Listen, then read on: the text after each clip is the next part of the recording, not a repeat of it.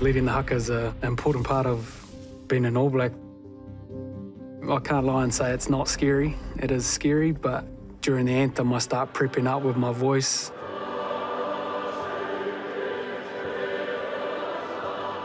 I sing our anthem hard as I like to and passionate about that.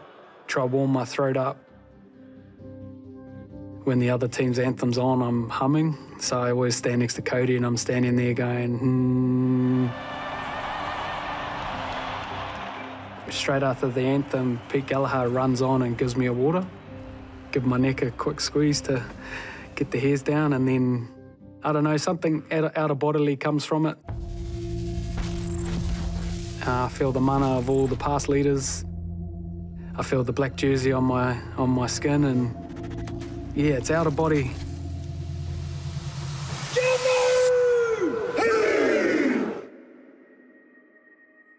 The haka is something that's unique in world sport, and it's unique, obviously, in rugby. And I guess we're the lucky ones uh, to be able to perform it. It's a symbol or a display of who we are as New Zealanders. Different cultures, different people coming together, and you're going into a gladiatorial sport. It's effectively us saying we're ready, and this is who we are.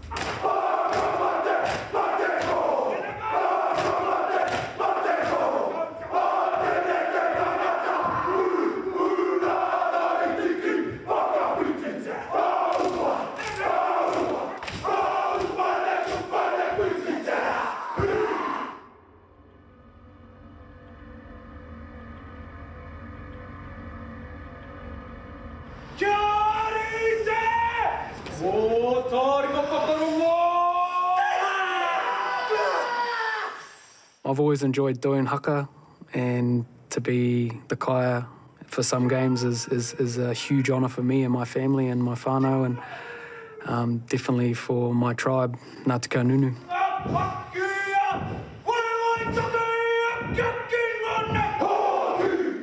It's an important role, but we're just the, the start, we're the heartbeat.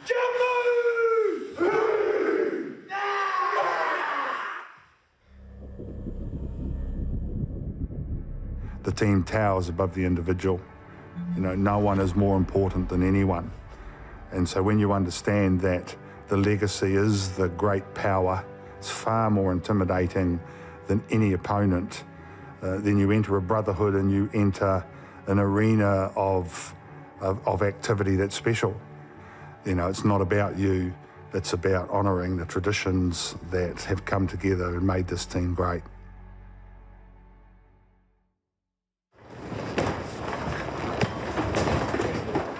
Something that we often do when we're just moving uh, cities. This is a bit of tough yakka that we do.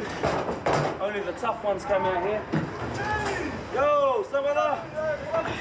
Off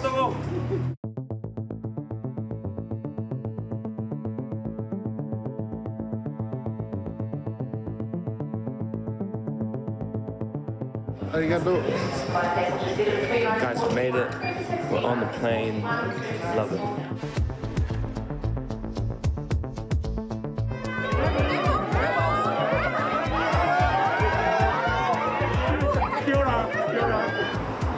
See those guys over there? Yeah, you need to watch out for those guys.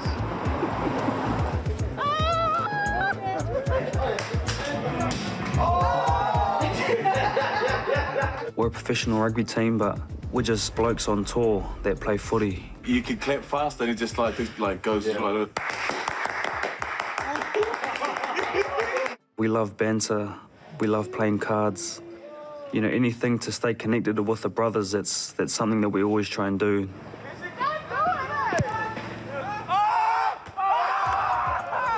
Things can be very funny on tour, man. This here is just our beautiful room. Um,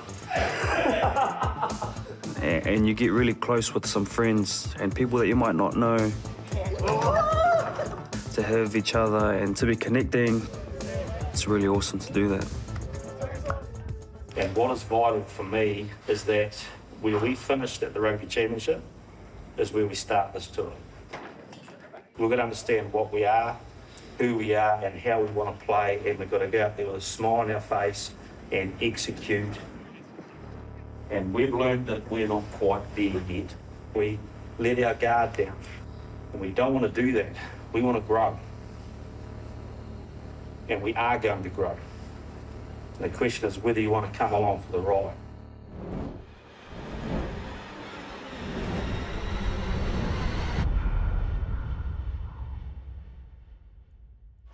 The All Blacks found a winning run towards the end of the Southern Winter, but questions remain to be answered on this Northern Tour.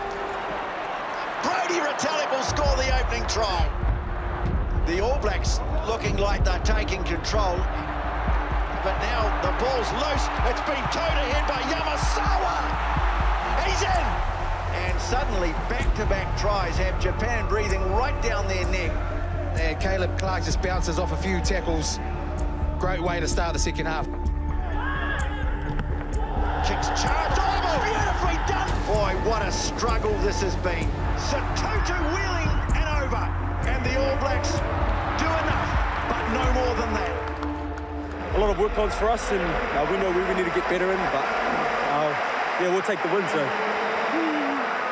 38-31. By far the tightest margin ever between these two sides. There's a lot of things for us to work on and things that we'll be frustrated about, but we've got smile, we've got the job done. International rugby is getting tough. We've got to roll our sleeves up.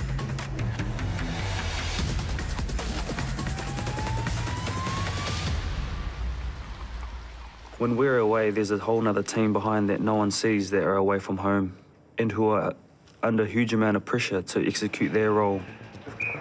I'm just on a level two. I guess there's like a core group of around 20. The role that I have is really about minimising disruptions to performance. Because it's home on the road, you want to try and create as much similarity every week, even if it's a different environment that you're preparing and you still want to have the same tools. We could make it easy on ourselves by just asking the local people to provide, but that's not high performance. Logistically, people don't realise, you know, we're taking half of New Zealand with us. Hit pads, tackle shields, drones, tents, everything. You know, coffee machine, scrub machine that probably only gets used maybe once a week. So while it's a, a burden in one sense and it takes a lot of creative logistical planning, it does provide, you know, a certainty.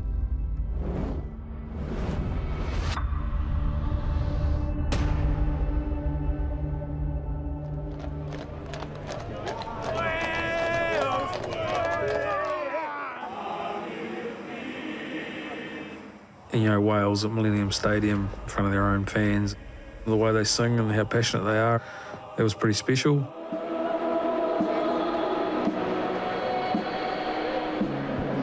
I just think we were ready to sort of ramp it up a little bit with, you know, we kept driving that we were trying to build some habits in some areas and continue to grow as a team.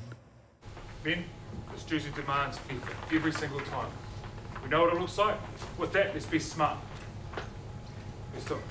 Here we go. How does this all not boys? Here we go. Brothers on three. One, two, three, brothers!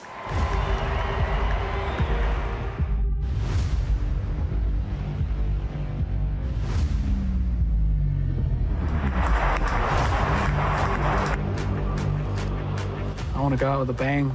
I want to be remembered for being really consistent. Always played high level of rugby, played with passion, played with heart. I want to finish standing up. I want to finish strong. And Ardie Savea, under all sorts of pressure, offloads beautifully to Aaron Smith. Two for the nug, boy. Two for the nug. You know, I thought we really wanted to make a statement in the Welsh game, and I thought we did that.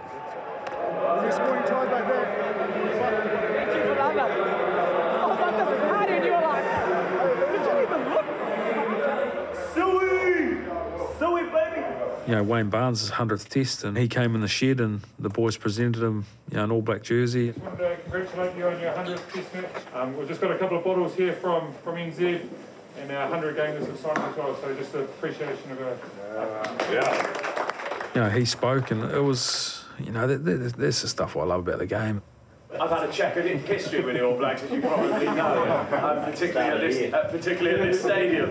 Um, but the way that you kind of allow us to be part of your little world is uh, really grateful, and this will um, a really special touch. And um, as they say in, uh, in Wales, I think iechyd da. So cheers, cheers, mate.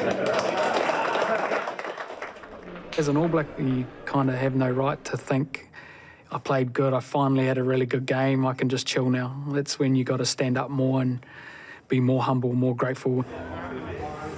Our biggest goal as an All Black when we first make the team, we add to the legacy, we give it our best, and it's no different when we turn up to a place, we leave it spotless. That's what leaders got to do, and it's not always about going to tell a guy to broom. It's just through leading through example.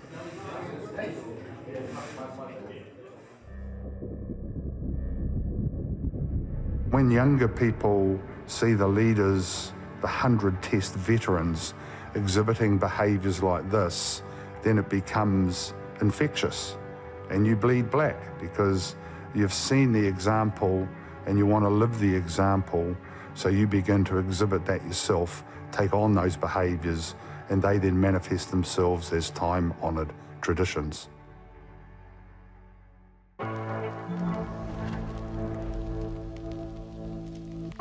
Winning is a poor teacher, and we've got to be great learners.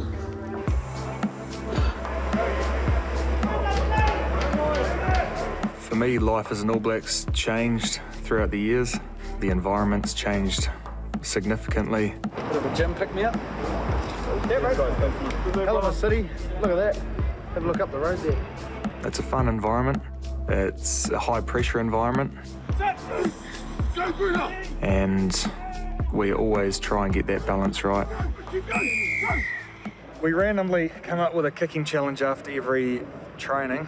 Probably a punt or a grubber into Sparkle's truck there. Everyone, Jimmy?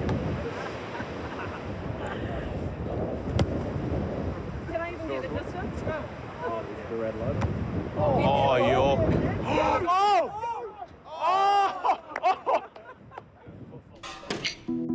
I'm kicking serious. in the game, eh? It's the last five minutes. Shane good. Oh! I'm a great believer that in, in high performance sport, there's no room for PR. And in top level coaching, there, there's no room if, if you're not authentic. So you've got to be who you are. Just that eight to 50 to win. Any 50, eh? This is a done deal. Here we go. We've spent a lot of time together in hotels where the only company we've got's our own. I'm demanding from the players that they have some balance because if they don't have balance and they're weak, then they'll burn out. And so I have to practice what I preach in that regard. I love switching on, switching off. I, I love getting out of my room and annoying people. See the way head turn now. He's just a good Kiwi guy. He's got a bit of humour. Who said Fozzie Bear? He's got a quick wit. If you come at him, you got to have some heat. And then if you get him good, he'll be like, "Oh, what about that missed tackle at their scrum?" Behind the scenes, the players probably describe me as being reasonably childish at times, immature at times. But that's okay because that's uh, that's my way of relaxing, and as long as I get the balance right, that's fine. That's what preparation's about, isn't it? It's listening to things, figuring out what's relevant for us as a team, for you as an individual, and then once you've identified that, we start building. Last two times we've been here, what, what are our margins of victory? Eight and five. We're going to do it again. We're going to take our level up again. It's slow.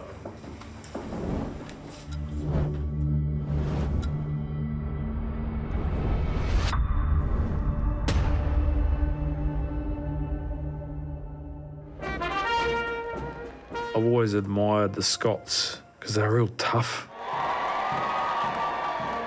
A lot of tension getting on the, off the bus there. You could you could feel that we knew this was going to be another step up. All Blacks seemingly have got things back on track after a rocky start to the year. I can't wait. This test will be the goods. Scottish game was always going to be a, a tough one for me. I think they're, they're a tough team to beat up there. And it's about being decisive in the moment and then decisive to the next moment. One, two, three, brothers! Here we go. Here we go, boys. It's a given that whether you're in the 23 or not, uh, you are prepared to set them up to succeed. Taukei'aho, he's close to the line. He is over. Nice boys. Uh, I was given the role to run water out, but also to have a, another perspective on the game from the sideline. And the ball played for Telea.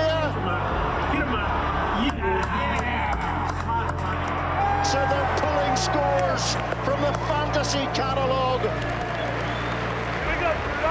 Lovely inside ball to Stuart Hogg. Chip and chase for Hogg. One of Scotland. We're going to see a penalty try here.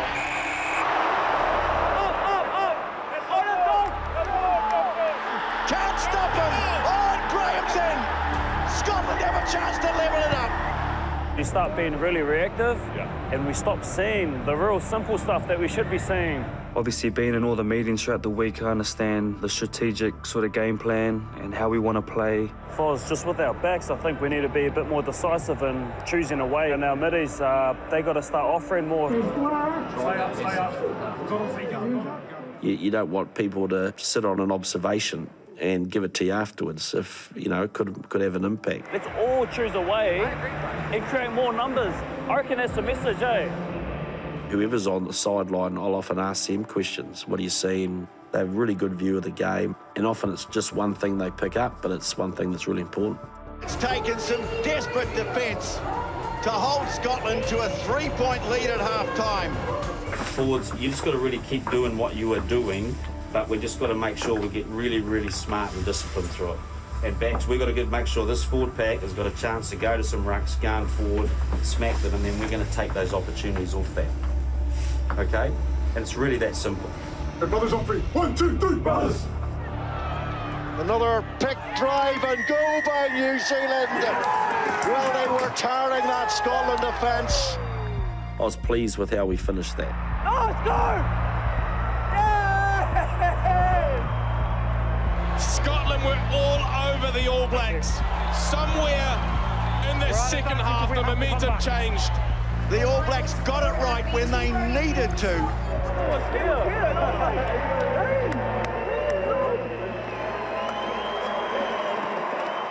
Waito, Waito. Samoa.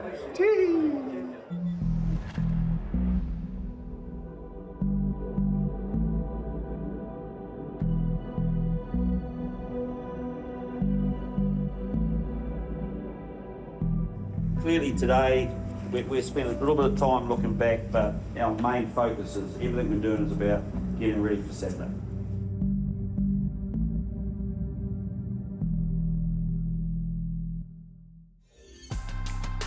I think players at this level are craving for insight and direction, and they want to go out very clear.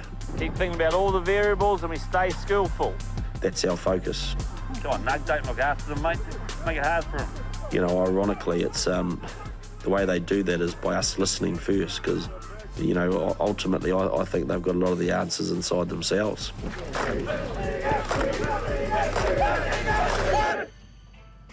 Nine, 10, 11. 11 plus 12, 23.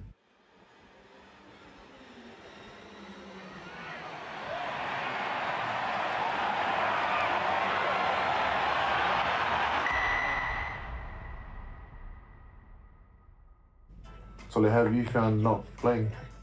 Definitely been tough, eh? Just going from being that guy to like not being picked.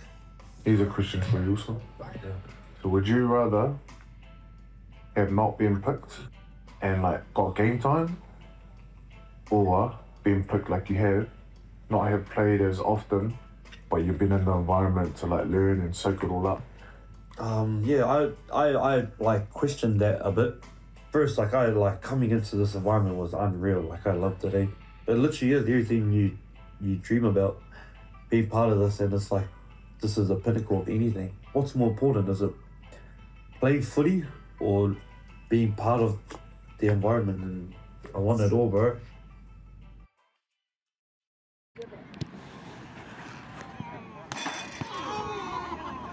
Uh, the build up was really good. It was Guz's 100th test match. He's been an inspirational All Black and someone who's got so much mana uh, in the All Blacks. Had some good determination. We sort of layered that in during the week that we want to put on a really good performance in that test match, you know, for Guz. Whatever we go through on Saturday, we, we smile at it and embrace the challenge.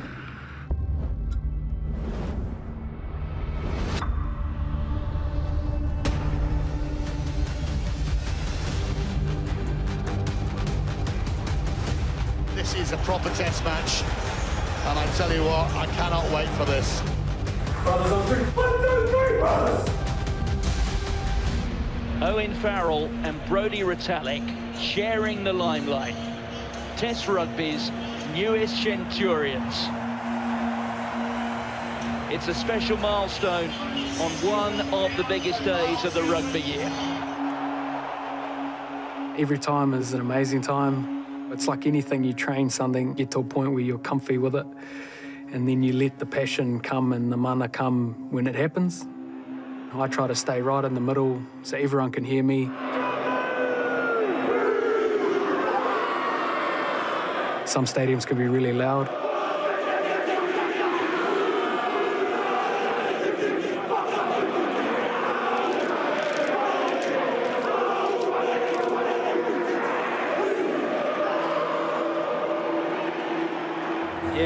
Jet. If there's water break, we're allowed to run on. And you go to the backs. Yeah. I'll go to the forwards.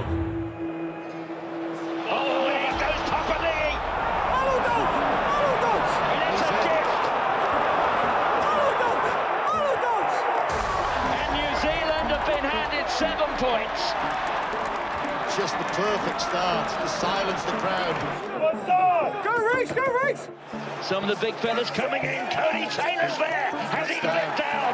And the referee says yes. for so much of that game. It wasn't the scoreboard, it was the fact that three years earlier, that team had, had outmuscled us in, in Japan. We have got scoreboard pressure, so our patience is key. And by all means, with advantages, have a crack. And there we were on their home patch, and I thought we played really well. And Twickenham is shell-shocked. The thing that I love, and this will sound funny, is that the mistakes we're making are really positive mistakes. They probably only need one or two things. You know, anything else is just going to make us coaches feel like we've been really good, but it's going to just just create clutter in their mind. Our race to the game line with the ball, that's creating everything. As backs receive their pitch as the kick, or to run, forwards you keep doing it again this half day. Brothers on three. One, two, three, brothers! There's going to have to be a second half of some resolve and no little skill from England. Certainly better than they showed in the first half.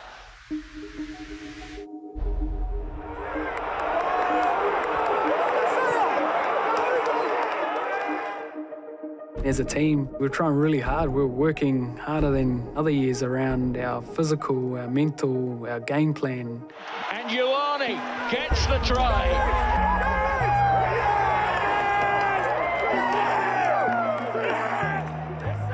Yeah, I was super proud of the boys, eh? Um, I was a little disappointed for the last 10, you know? but if I'll be honest, I was, I was gutted. Marcus Smith now is through. Smith then with a stick.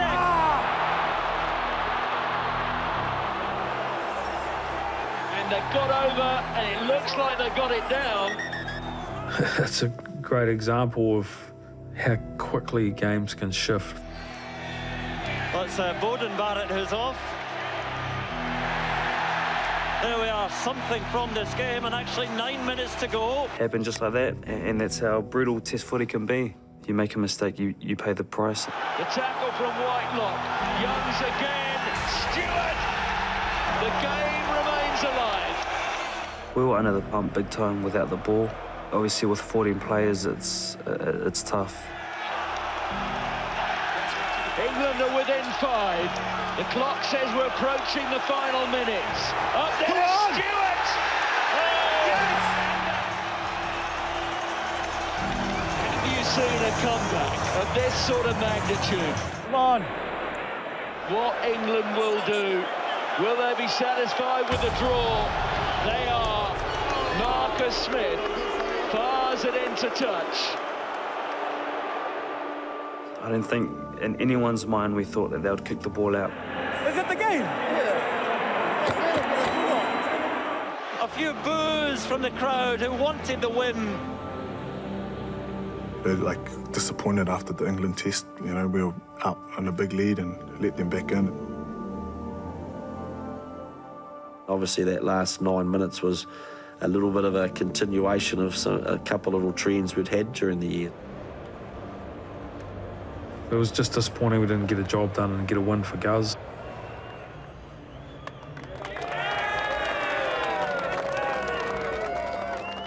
You know, in the shed afterwards, you know, the English boys come in and that's always good about the Northern Tour. There's jersey swaps and see all those boys, the ex-All Blacks that were in the shed, Jerome and DC and Richie and Conrad.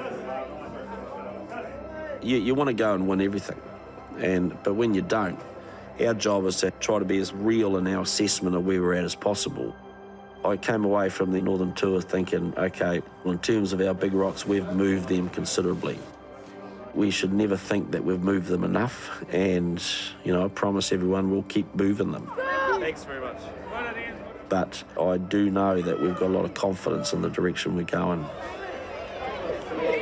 Thank you very much. Thank you. 2022 as a year, it was it was a trip, man. It was a roller coaster. To go through all that pain and adversity, only good can come from it. You know, we lost the um, July series to Ireland, but after that, we we were pretty successful. They have thumped Argentina by 53 to 3. And they've won at Ellis Park. You know, you got to be grateful for that, and we got some amazing. Wins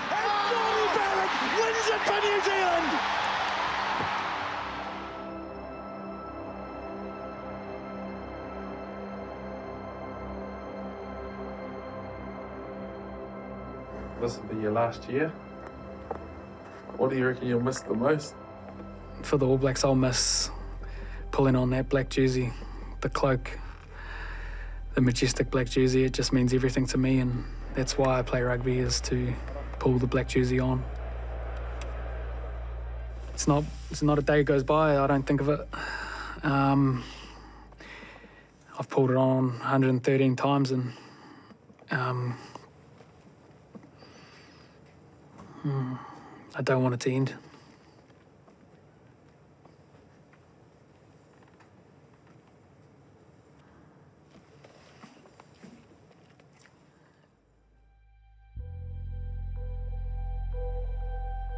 I didn't want to take the jersey off for as long as I, I could, but there was a point where we had to leave the change room, and I, and I remember taking it off, going, "This is the last time I, I get to do this." I didn't want that feeling of being an All Black to finish.